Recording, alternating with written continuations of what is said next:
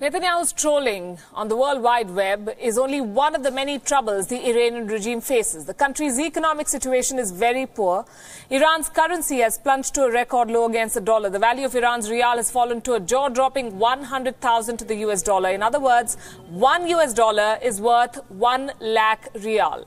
The currency value plunged over America's decision to impose tough sanctions on Iran.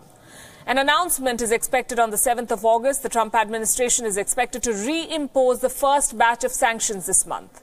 That will hit Iran's trade in gold and precious metals, graphite, coal, etc. Imports of Iranian carpets and some food, food items into America will also attract sanctions. This is after American President Donald Trump pulled out of the 2015 Iran nuclear deal. Washington has also warned other countries against buying Iranian oil. The deadline it has set expires on the 4th of November this year. All this is part of the Trump administration's strategy to step up pressure on Tehran. Iran's rial has lost half of its value since April this year. Add to that a weak economy, growing financial difficulties at local banks, and the high demand for the dollar. Their best hope now is Europe. Iran's European partners, who still support the nuclear deal, by the way, are trying to come up with an economic package. We'll have to wait and see how that goes. India, meanwhile, also has to decide where it stands on this issue.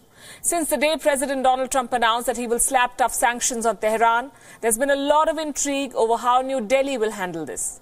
Iran is India's third largest supplier of crude oil. Through the investments towards the Chabahar port, India has been able to achieve key trade and strategic objectives.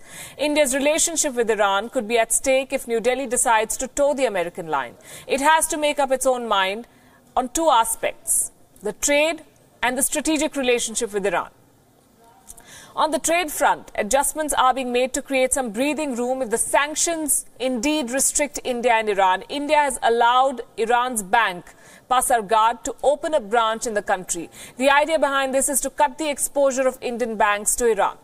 As far as the oil imports are concerned, New Delhi is expected to push for a waiver from Washington. Otherwise, it may need to procure oil from Saudi Arabia or even Iraq, the other two big exporters. India could push the Trump administration on this. It has successfully done the same with Russian defense supplies. America has made an exception for India there. Can the same be achieved with Iran?